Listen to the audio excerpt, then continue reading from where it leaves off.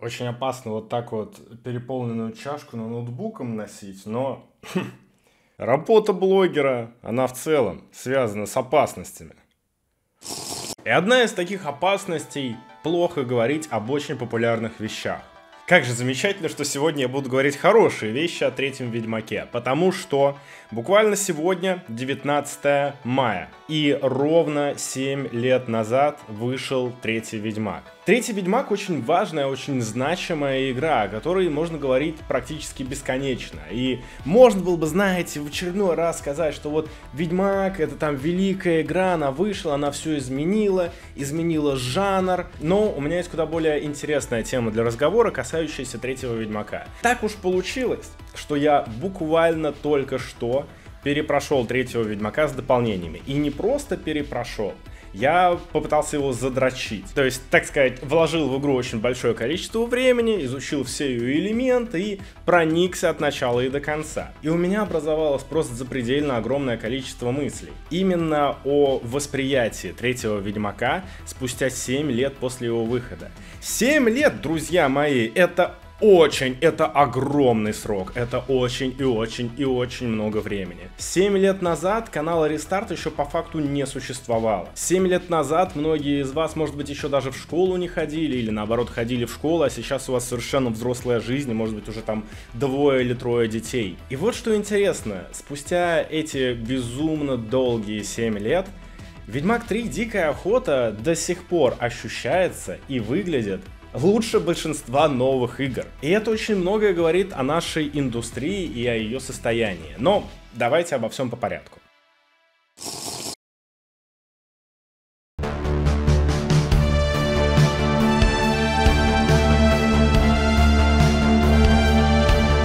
Общем, да, как-то так получилось, что несколько месяцев назад моя подруга наткнулась на третьего Ведьмака и начала его проходить. И я прям как в том меме, сначала где-то около двери терся, смотрел, э, заглядывал в щелку под дверью, ну а потом, собственно, открыто зашел и такой сказал, я хочу в этом участвовать. Потому что третьего Ведьмака я, собственно, проходил а, 7 лет назад. знаете, вот это вот ощущение, когда ты вроде с одной стороны не заинтересован, потому что скоро выходит большое обновление под Next Gen для Ведьмака. Я ждал его, но как-то так получилось, что я вот смотрел, смотрел на это все, и просто залип. Меня там начали просить, ой, а пройди мне этого сложного босса, а пройди мне этот сложный момент. И вот уже я прохожу третьего Ведьмака. И да, я пытался задрочить его, я пытался собрать все вопросики на карте и выбить платину. Естественно, у меня это не получилось, потому что выбить все вопросики это, блядь, безумие.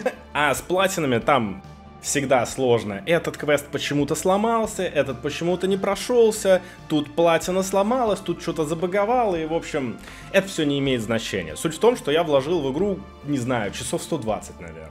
Проходя как бы основную игру, два дополнения и еще многие-многие-многие часы, слушая подкастики и задрачивая Open World. И знаете, третьего Ведьмака его как бы долго можно обсуждать там механики, насколько что работает, насколько что полезно, баги там, управление неудобное, плотва все время везде застревает. Это все да, это все можно очень и очень долго и очень сочно обсуждать. Но есть вот такие вот игры, которые ты включаешь, и они моментально захватывают твое внимание, и ты просто не можешь оторваться. И третий Ведьмак это определенно одна из таких игр даже несмотря на все его проблемы и недоделки. И в общем, да, да, я спустя 7 лет перезадрочил третьего Ведьмака и потратил на это кучу времени. И я же не могу просто поиграть в игру в свое удовольствие. Кто работать-то будет? Так что вот он, Ведьмак 3 спустя 7 лет. На летних презентациях, которые вот прошли в июне, показали очень много хороших игр. И очень многие из этих игр сделаны на движке Unity. Те же Skate Story, Cult of the Lamp, Card Shark и многие другие. А из недавно вышедшего на нем работают отличный Tunic и Neon White. Unity очень гибкий и востребованный движок, и на нем делается очень много как инди, так и AAA игр. Он просто в освоении, он кроссплатформенный, и это отличный вариант, если ты хочешь начать карьеру в разработке игр. Так что наши друзья из онлайн-школы Skill Factory приглашают у вас на курс разработчик игр на Unity Pro. На курсе вы полностью погрузитесь в разработку игр, изучите весь процесс от разработки концепции игры и до выпуска ее в сторы. Вы научитесь работать с Unity на продвинутом уровне, программировать на C-Sharp, изучите асинхронное программирование и основы 3D-моделирования. На курсе вы сделаете 7 игр разных жанров, и они сразу пойдут вам в портфолио. 3D-платформер, Space Shooter, гонки, Tower Defense, многопользовательские танки, шутер от первого лица и самое главное, ваша собственная игра в любимом жанре. Опытные наставники из индустрии будут вести вас на всем процессе обучения, ответят на возникающие вопросы и дадут обратную связь по домашним заданиям. Так что с курса вы выйдете полностью готовым к настоящей работе. У вас будут знания и навыки уровня middle разработчика. Ну а карьерный центр как раз поможет вам в трудоустройстве. Средняя зарплата разработчика игр на Unity в России 120 тысяч рублей. У Skill Factory отличные отзывы и сегодня это действительно один из самых сильных курсов по изучению движка Unity. Это отличный способ получить востребованную IT-профессию, вкатиться в геймдев или просто сделать игру мечты. Так что переходите по ссылке в описании, а по промокоду RESTART вас ждет скидка 45%. Я жду ваши гениальные проекты.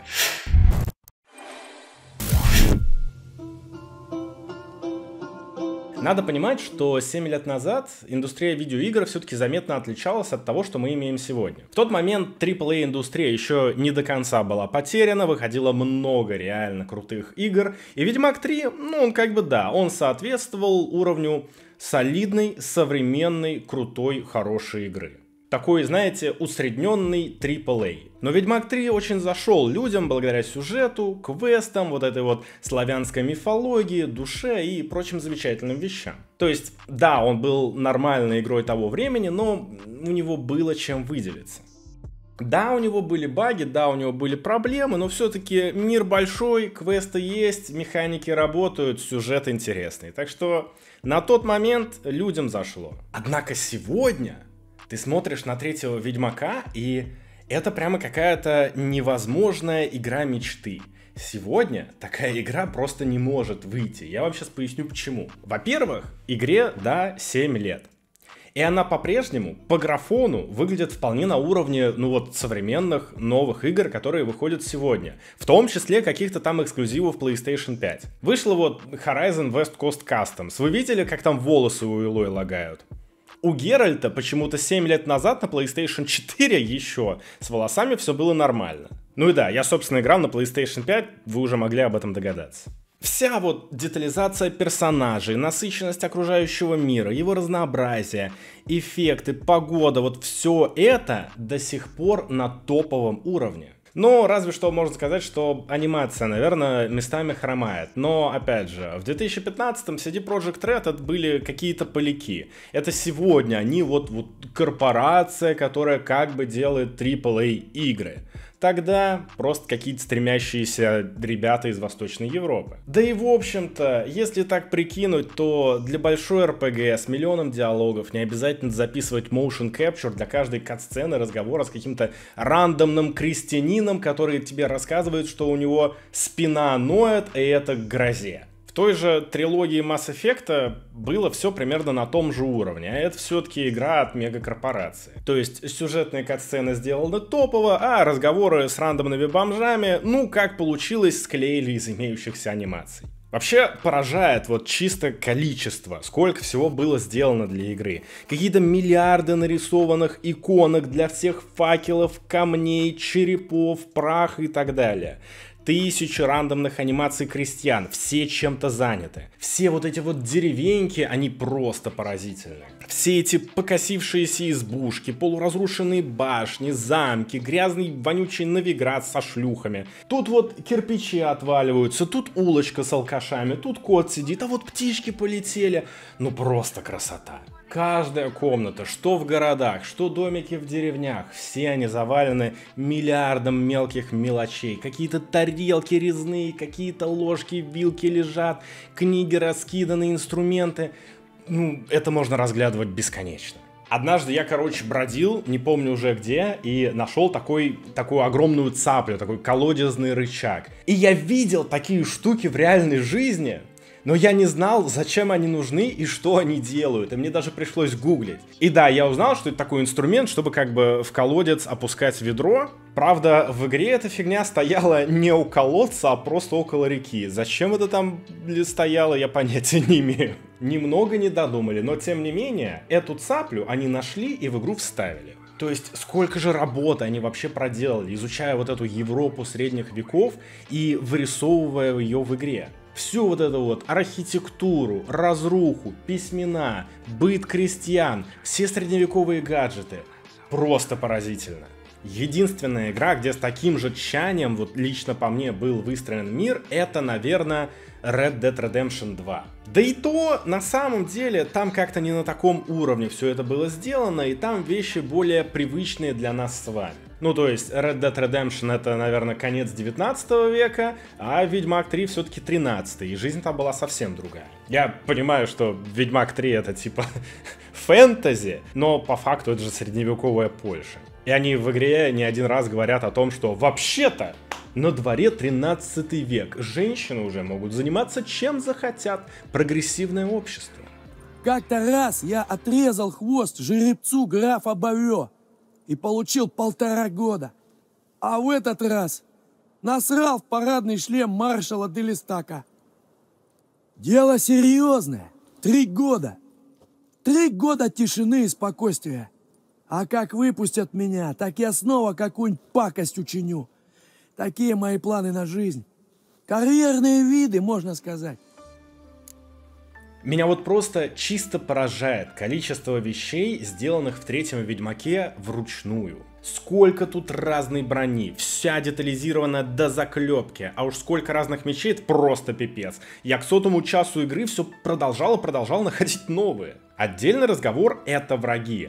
Это, конечно, далеко не Elden Ring, но открываешь бестиарий и выпадаешь в осадок. Столько разных монстров было придумано и воссоздано из мифологии для игры. И причем у каждого же есть какая-то своя история, какой-то лор, какой-то бэкграунд, какие-то аналоги из реальной жизни. Все это какие-то реально существующие легенды, которые были адаптированы под мир Ведьмака. И у каждого же монстра есть свой определенный мувсет, свое поведение, и с ним надо определенно воевать, использовать нужные гаджеты и так далее. Опять же, не Elden Ring, и мы немножечко об этом поговорим чуть-чуть позже, но работа была проделана просто огромная. В общем, я все это к тому, что, опять же, мне кажется, что сегодня игру такого масштаба и такого количества вручную сделанного контента, ну, никто не возьмется сделать. Это какое-то безумие. Даже тот же Киберпанк 2077 от тех же CD Projekt Red и рядом не стоит. По количеству вот именно вручную сделанного контента для игры. Да, он все еще очень красивый, очень детализированный, и там все еще очень много всего, но это не тот уровень. И это одна из причин, почему мир Ведьмака 3 ощущается таким живым. Ты просто намного реже встречаешь повторяющиеся штуки.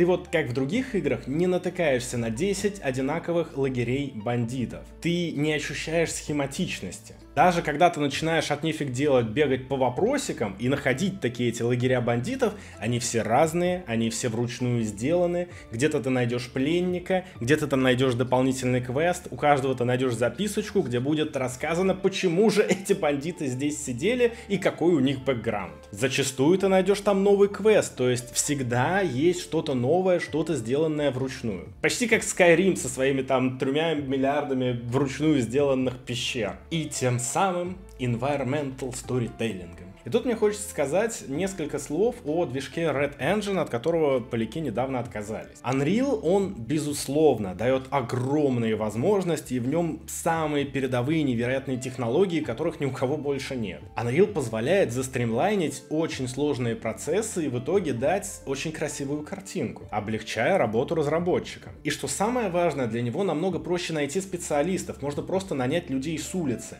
Потому что для Red Engine надо будет тренировать каждого человека с нуля, и это большая проблема. Особенно в динамичном современном мире, где немногие хотят сидеть там в одной компании 20 лет и дрочить один и тот же движок. Но Серьезно, мне кажется, я уже раз 7 сказал это в этом видосе, но Ведьмак 3 до сих пор в версии для PlayStation 4 выглядит лучше большинства новых игр. Да, я понимаю, я играл на PlayStation 5, и на PlayStation 5 запускается версия для PlayStation 4 Pro, то есть как минимум высокое разрешение нормальное, картинка четенькая, но все равно игра сделана на вырост. Как, кстати, собственно, и Киберпанк 2077. Есть вот этот вот эффект Крайзиса, да, когда выходил Крайзис в 2007 никто не мог запустить его на максимальных настройках нормально, и у нас даже появился мем, а вот запустит ли это Крайзис. Когда же вышел Киберпанк 2077, и внезапно оказалось, что он ни у кого толком не работает на максимальных настройках, все почему-то начали ныть о плохой оптимизации. Почему-то никого не интересовало о том, что игра там невероятно насыщенная, очень большие комплексные локации, огромное количество NPC, там искусственный интеллект. То есть это все очень сложно, для этого нужны очень мощные компьютеры, которые есть мало у кого. И даже когда люди это понимали, они начали задаваться вопросом, а почему, собственно, э, вы это сделали? Почему это я покупаю комп там за 10 тысяч долларов и не могу поставить максимальные настройки графики? Так вот же почему. Чтобы спустя 7 лет игра выглядела все еще лучше большинства новых игр. И не то, чтобы Ведьмак 3 в момент выхода там на средне-низких настройках выглядел плохо. Кстати, у CD Projekt в тот момент, вот в 2015 была такая же проблема, как и у Киберпанка. Ведьмака 3 планировали выпускать на PlayStation 3. Но в последний момент они отказались от этой идеи, увидев насколько же пососно на PlayStation 3 и Xbox 360 выглядит Dragon Age Inquisition. И это было очень правильное решение. Вокруг игры не было лишних срачей. Разработчики смогли сконцентрироваться на версии для Next Gen. И они смогли отпустить ограничения старых приставок. Поэтому для меня просто запредельная какая-то загадка. Нафига они вообще выпустили Киберпанк на PlayStation 4? Они уже буквально это проходили. И они преуспели в итоге. Так зачем они наступили на грабли, которые в прошлый раз они умудрились обойти? В общем, я к тому, что Red Engine офигенный движок, и он отлично скейлится со временем. И Ведьмак офигенно смотрится. И я уверен, что когда наконец выйдет обновленная версия там с ray tracing ом, сегодня, кстати, объявили, что она выйдет в конце 2022 года, он будет еще краше и заткнет все новые игры еще раз. И то же самое с Киберпанком. Даже next-gen овая версия, даже версия игры на ПК на максимальных настройках, это далеко не предел того, как может выглядеть Киберпанк 2000 2077. Говорят, это худший город для жизни между двух океанов. Но я люблю на него смотреть. Это успокаивает. Но есть еще одна очень любопытная и интересная вещь, касающаяся этого движка – по Ведьмаку 3 и Киберпанку 2077 можно отлично проследить, что такое движок и как с ним работают люди. То есть вот этот вот Red Engine, он же изначально проектировался под игры от третьего лица. Но даже так Ведьмак 3 частенько тупит, лагает, выглядит каким-то кривым, косым. Геральт криво бегает, застревает в стенах, анимации тупые, какие-то постоянные ограничения в кат-сценах и прочее, прочее. Но это касается только основной игры. Если после ее прохождения сразу же сесть проходить дополнения, то сразу видно, насколько лучше они сделаны. Насколько в них меньше недоделок, кривостей, насколько лучше все работает, насколько больше анимацию героев, насколько меньше багов и насколько лучше даже банально выстроен ландшафт. То есть совершенно очевидно, что движок дорабатывался на всем процессе разработки, как третьего Ведьмака, так и дополнений э, Кровь и вино и Каменные сердца. И в этих вот мелочах движок становился лучше с каждым годом разработки игры. Киберпанк 2077 же изначально также делался как игра третьего лица. То есть, по сути, они бы дальше работали с тем же самым инструментарием, сделанным для третьего Ведьмака и его дополнений. Но потом Почему-то было решено делать все от первого лица, и движок к этому вообще не был готов. Им пришлось все переделывать с нуля, все системы анимации, все взаимодействие с окружающим миром, вообще все. Собственно, из-за этого Киберпанк 2077 и делали черт знает сколько лет. Им приходилось все эти годы копаться в Red Engine, который вообще не был приспособен для игр такого типа. Им буквально было бы проще и быстрее сделать новый движок для Киберпанка танка. С такой же проблемой, кстати, столкнулись и BioWare во время разработки Ansem. Им дали Frostbite, который как бы красивый, крутой, но он был спроектирован под шутаны от первого лица. А им сказали сделать RPG, леталку, игру-сервис от третьего лица. У Frostbite не было даже инструментария, чтобы сделать инвентарь у персонажа. Не то, что какую-то прокачку и взаимодействие с другими героями. Это буквально как если бы вам сказали забивать гвозди, но дали бы для этого, не знаю, отвертку. Ну, наверное, технически вы могли бы это сделать. Но зачем? С молотком было бы намного быстрее. Их Red Engine выдавал м, топовую картинку и отличную производительность, и они постоянно его развивали. И если бы они с умом к этому всему процессу подходили, у них был бы сейчас топовейший движок для четвертого Ведьмака. Так что очень жаль, что они в итоге от него отказались, однако их все-таки можно понять. Но движок это, естественно, далеко не все различия между основной игрой и дополнениями. Надо сказать, что и сюжет, собственно, в Ведьмаке 3, откровенно говоря, сосет. Я знаю, что это основная причина, почему эту игру любят, но давайте серьезно. Вот самая центральная история, основной сюжет третьего Ведьмака, основная вот сюжетная ветка. Да, все вот знают там вступление, вы ищете Енифер, Эмгир, потом вот эта вот великая, конечно же, история Кровавого Барона, вы приходите в Новиград, там с Трис тусуетесь, потом в какой-то момент отправляетесь на Скеллиге. А дальше... Дальше в основном у всех в головах туман. Я прошел игру только что, и я не помню, что там было по сюжету. Ну, в Зацире было прикольно играть вот эти вот два момента. Ну да, был офигенный момент, где э, ведьмаки бухают в Каэр Морхане и потом пьяные идут звонить чародейкам. Это да, это топовые моментики. Подъем! А? Что? Что случилось? Набрались мы в три жопы. Вот что случилось. Вставай, пошли пить. Оставьте меня. Я сейчас сблюю. Стоит нам втроем собраться, всегда этим кончается. Значит, надо найти четвертого, а еще лучше бабу. Потом еще вроде на лодке плывешь на какой-то таинственный туманный остров. Но это как бы все, что я помню от игры. И это маленький, крошечный процент этой игры. По-хорошему, вот откровенно говоря, игру стоило бы закончить после драки в Каэр Морхане. Вот когда вы, значит, идете ко всем своим друзьям, и вы собираете всю эту мощную тусу, чтобы дать отпор дикой охоте. Да и даже в тот момент, на самом деле, игра уже ощущалась немножечко такой подзатянутой. Но оно ведь продолжается, и продолжается, и продолжается. И самое поганое, что из-за кривости движка и чисто из-за огромного количества контента, которое надо было сделать для основной сюжетной линии, очень многие моменты тупо очень криво играются и тупо недоделаны. Даже уже в самом начале, когда ты с Кейрой Мец идешь по пещере под куполом, как будто игра вот не была рассчитана на такие мелкие пространства. Ну а драка с чуваком из Дикой Охоты, это ж вообще трэш. Я уверен, что большинство игроков терпело историю до конца только ради всех остальных элементов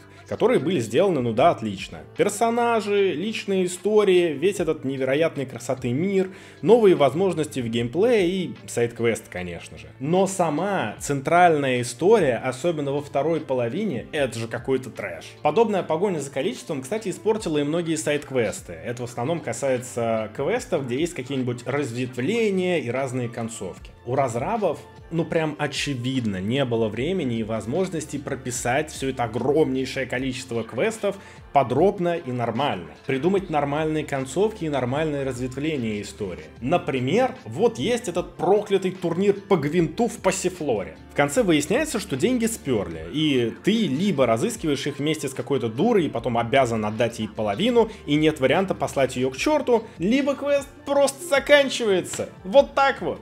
Типа, какого хера? Я выиграл эти деньги в турнире, я расследовал это ограбление, да она вообще ничего не сделала, пошла она в жопу. Геральт, конечно, с ней потом может переспать, и я за него очень сильно рад, но... Четыре с половиной тысячи монет за секс.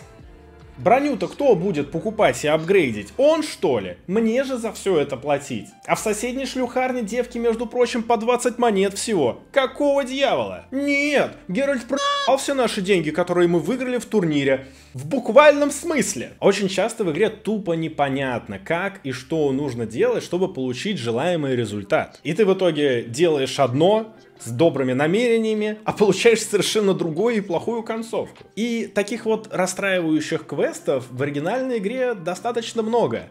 И при этом я не могу вспомнить ни одного в дополнение. Сюжет в них меньше, он такой более сконцентрированный, он лучше написан, лучше поставлен, а сайт-квесты лучше продуманы. Как же я кайфовал от всего, что происходит, как в каменных сердцах, так и в крови и вино. Вы не представляете, хотя, наверное, многие все-таки представляют. Безусловно, неоспоримо самый лучший момент в видеоиграх вообще вот за все годы существования электронных развлечений. Это, конечно же, когда ты идешь на свадьбу, и там можно бухать, приставать к бабам и пи*** свинопасов дрыном, а заканчиваешь ты вечер, держа в объятиях лучшую девочку-писечку в Ведьмаке Шани. Да, это было мое громкое признание. Что вы мне сделаете? Грязные Енифера Дрочеры и Триса Любы. Что? Куда вы меня пошлете? Вы не сможете. Вы должны будете признать, что Шани лучшая девочка в третьем Ведьмаке. Я вообще считаю, что мы должны составить петицию и отправить ее лично CD Projekt за то, чтобы в обновленной версии Ведьмака, вот в конце, можно было в Корву Бьянку пригласить не грязную вонючую Енифер своей сиренью, не рыжую эту э, Трис, вы вообще видели, как она в сериале выглядит, а нашу прекрасную, умную, волшебную, просто невероятно талантливую девочку Шани. И чтобы можно было с ней там остаться навсегда и делать вино, и больше никогда в жизни не видеть этих истеричных колдуней. 11 друзей Оушена с похищением дома Барсоди тоже великолепный момент. Но отдельно мне нравится плохая концовка каменных сердец. Уговор выполнен, и Гюнтер Одим забирает душу Ольгерда. Да, печально, но честно. И все это под такую красивую драматичную музыку. Собственно, в «Каменных сердцах» по мне добавили лучший трек во всем третьем Ведьмаке. И еще в главном меню очень красивая вокальная песня тоже на русском. Потрясающе просто вообще.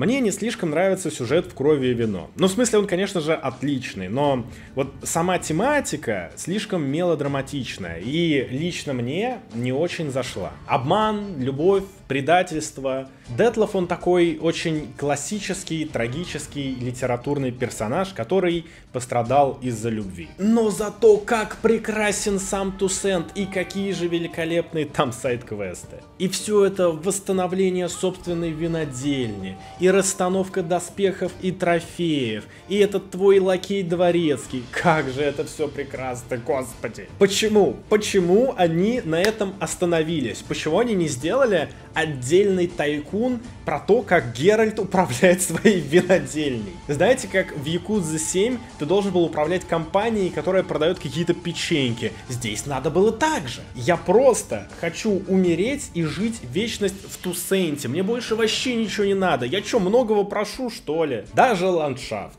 как я уже говорил, в новых локациях сделан намного лучше, чем в старых. И, господи, о господи, как же меня Скеллиге. По нему же просто нереально перемещаться. На каждом повороте затуп и персонаж застревает либо в заборах, либо в скалах, либо в корягах каких-то. Лошадь, да просто забудьте. Это бессмысленно, на каждые 5 метров будет врезаться во что-то. Потом тебе надо плыть на лодке, и это занимает целую вечность, и на тебя еще сирены нападают, ты пытаешься их сбить из арбалета, и это все просто бессмыслица. Сирены и гарпии это вообще целая отдельная пытка. Они летают, их надо сбивать. Но арбалет в Ведьмаке оружие очень сомнительное, с очень низким уроном. Это как мушкет в Бладборне. Это не оружие, это инструмент. Но, так как вокруг скалы, ходить ты можешь только по очень ограниченному клочку камней.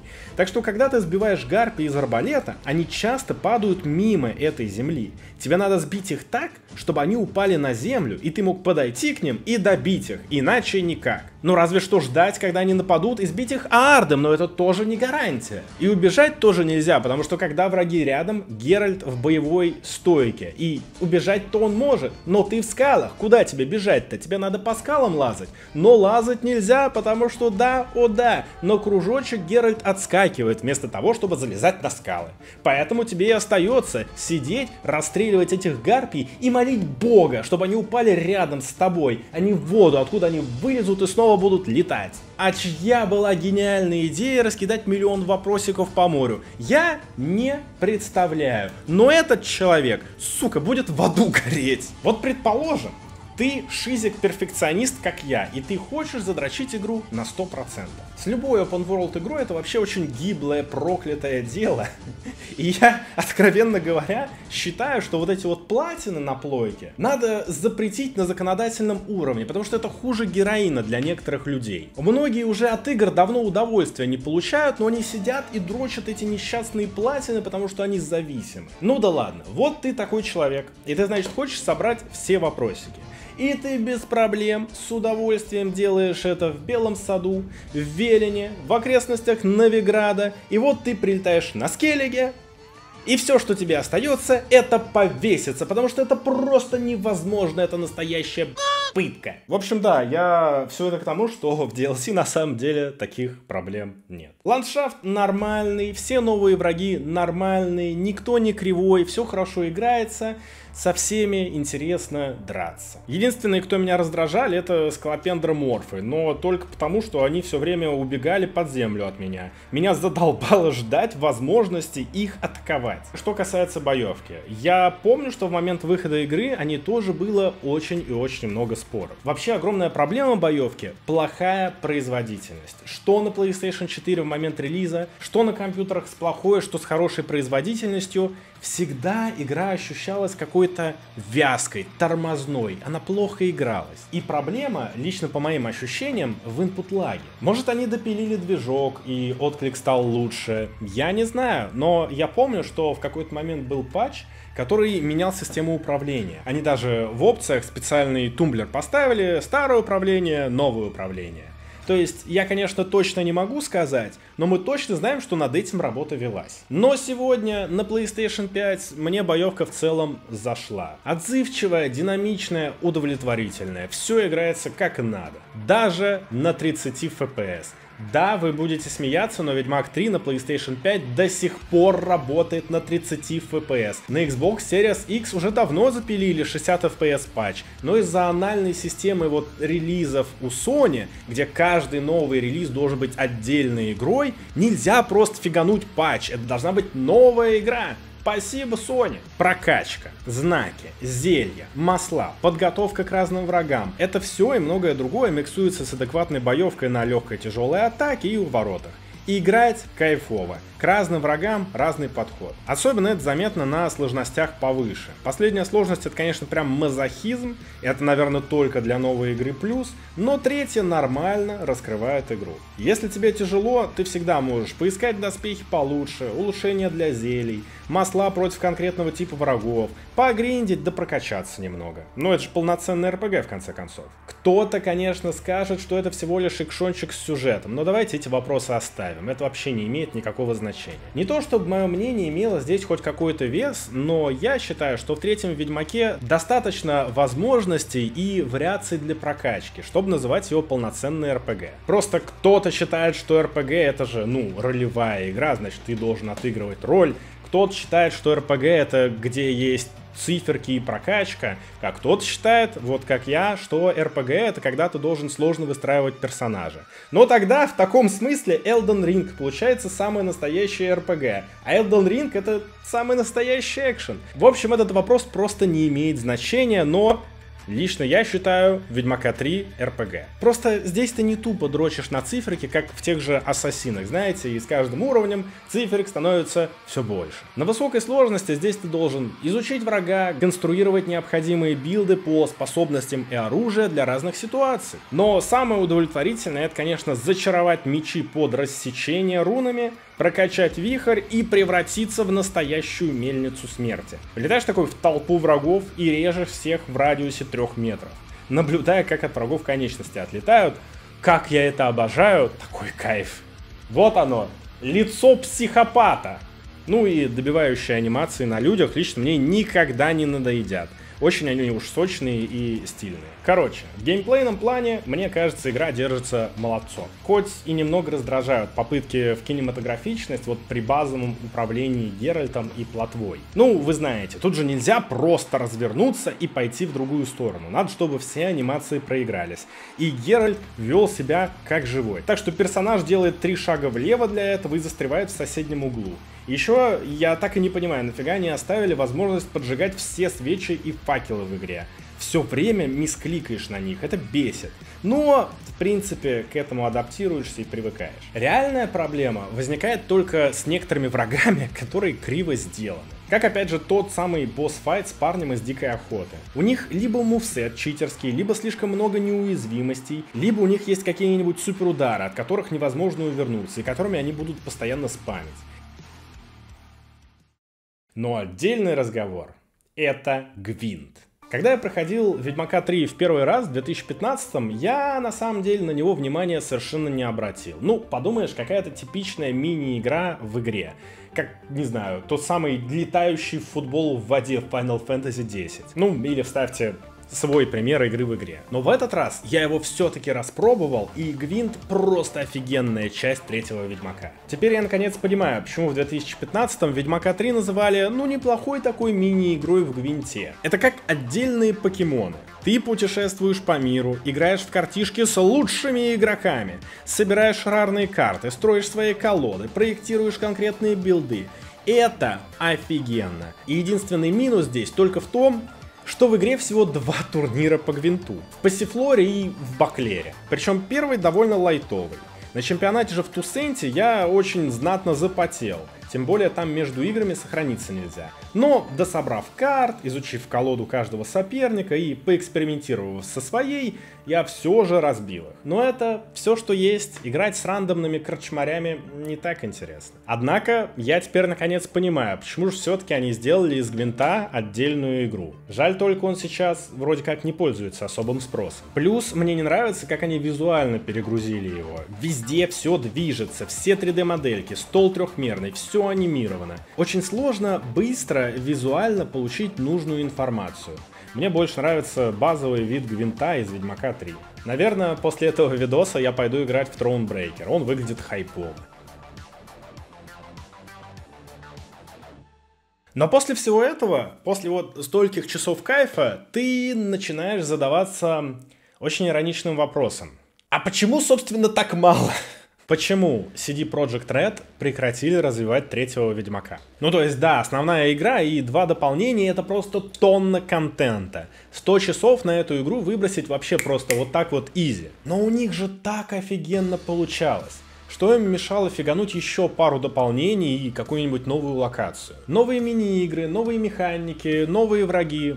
Фанаты же довольны, фанаты хотят еще, деньги печатаются. В каком-то смысле Ведьмак 3, по ощущениям, мне даже напомнил серию Якудза. То есть есть вот конкретный персонаж и его история, но персонаж окружен кучей активностей.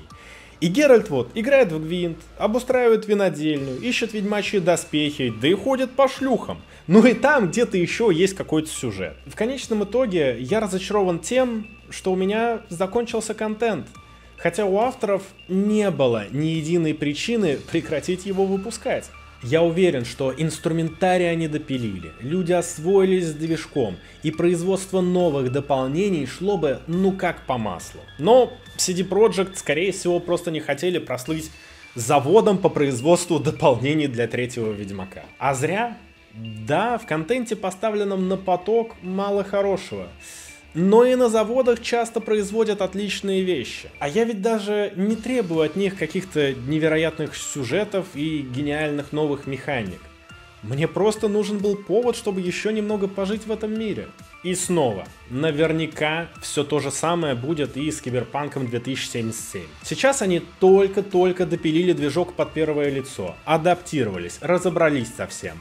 Они готовы работать. Они сделают пару дополнений, и я вам гарантирую, каждый из них будет огромным шагом вперед по сравнению с основной игрой. И только-только все начнет нормально работать, как опа, а все, киберпанк закончен, мы уходим на пятый Unreal. Во времена, когда уникальных движков осталось так мало, очень все это печально. В общем, повторяя сказанное, до сих пор Ведьмак 3 выглядит и играется лучше многих новых игр. Главное, что меня удивило, что вот как технологически, так и с точки зрения дизайна и вот наполненности игрового мира, он до сих пор выглядит намного лучше, даже новых экзов на PlayStation 5. Это меня очень сильно поразило, и это в целом очень многое говорит о нашей сегодняшней игровой индустрии. 7 лет — это очень долго. Но за эти 7 лет технологические игры практически не изменились. Если бы не появился ray tracing, то начало поколения PlayStation 4 и начало поколения PlayStation 5 вообще бы никак не отличались. При всем при этом содержательные игры стали только хуже. Ну то есть да, давайте не будем лишний раз спорить о ерунде, до сих пор выходит много интересных игр, много классного в инди-сегменте, но я имею в виду вот центральные AAA главные основные игры от крупных корпораций. AAA игру масштаба третьего Ведьмака сегодня просто невозможно представить. Кто-то, возможно, придет в пример экзы Sony вроде Horizon West Coast Customs, но это совсем не тот уровень. Гораздо меньше сюжета, гораздо меньше механик и разнообразия, как геймплейного, так и визуального. Собственно, это и разница между большой амбициозной ролевой игрой и, ну, просто дрочильной в open world красивенькой. Ведьмак 3 — это игра мечты, которая внезапно получилась. И это большая редкость. Я, конечно же, осознаю, что если разобрать на детали, то по факту Ведьмак 3 та же самая дрочильня в open world, сделанная по схеме и по формуле. Но игра идеально создает иллюзию живого мира, где стражники на тебя рычат, вывески скрипят на ветру, крестьяне работают в поле и верят в какие-то суеверия, шлюхи в городе заманивают клиентов, идет война, а Геральт просто на пути в очередную деревню за очередным заказом. Так что, когда в следующий раз сумасшедшие в телеке начнут кричать «О, из-за этих клятых видеоигр молодежь уходит в киберпространство и не размножается», я отвечу «Ну да, в реальной жизни меня же никто не позовет на свадьбу, где я смогу пить водку, играть с карликами в карты и бегать за свиньями. А если такого не будет, то зачем такая жизнь вообще нужна? Что ж, я здесь сижу уже три часа. Спасибо большое за просмотр.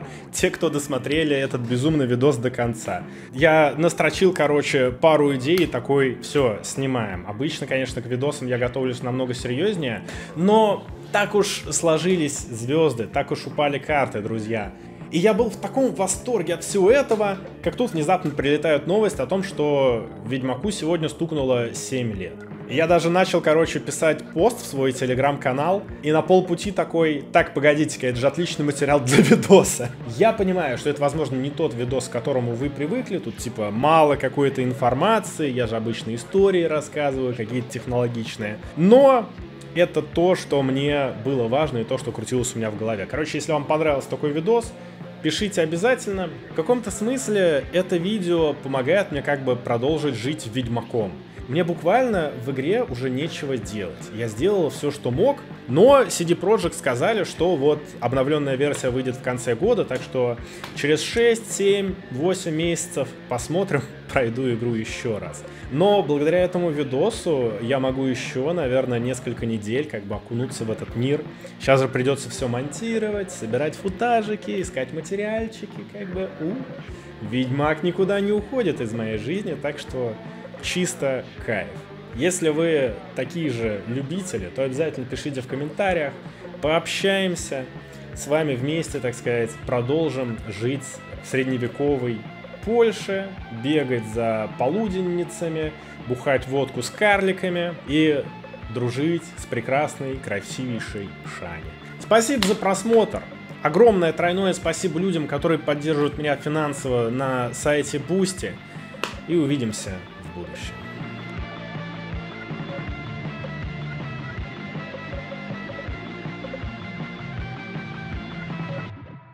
Не ожидал встретить здесь ученого. Я так понимаю, ты бежишь от войны. Ровно наоборот. Я еду на фронт. Тебе жизнь не мила? Знания для меня милее жизни. А сидя за книгами, их не добудешь. Я хочу увидеть агрессию Нильфгаарда собственными глазами, понять ее и описать. Это будет мой опус магнум. Может, хоть кто-то наконец опишет войну такой, какая она есть, без вымышленных речей и героических генералов. Напишет про насилие и бессмысленную жестокость. Видно, как не хватает тебе академического стиля. Насилие и жестокость — это детали, не имеющие значения для хода войны. Можно сказать, сопутствующий колорит. Ага. Скажи это людям, у которых сожгли дом.